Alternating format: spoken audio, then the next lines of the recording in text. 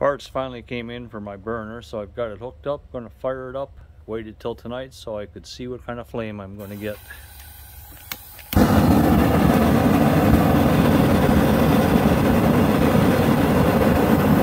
At about 2 psi right now.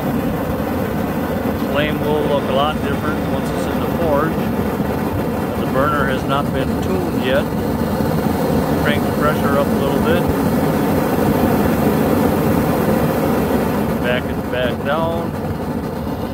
Considering it's the first burner that I've ever made, looks like it's going to work out pretty good.